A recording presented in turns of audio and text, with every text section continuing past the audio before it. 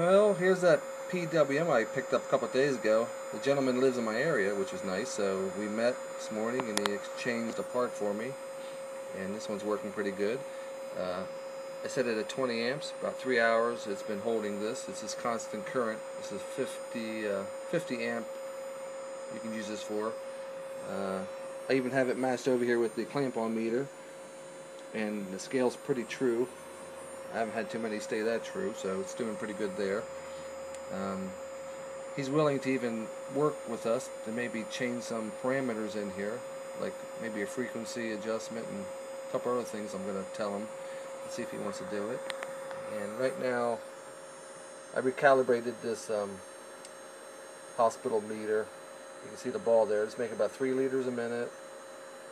And uh, this comes with a constant current 50 amp PWM with a remote cable so you can put the screen where you want to. And uh, right now this is about what it's this is putting out about 3 liters. You can see with this small 4 inch fuel cell this is a real old one. I'm just using it for testing right now until we get our new fuel cells. So uh, which I will show I hope in a couple weeks. But just wanted to show you that. Um, doing pretty good. It's very reasonable priced. So um, go check it out on eBay and just tell them Hollywood sent you. Talk to you later. Bye.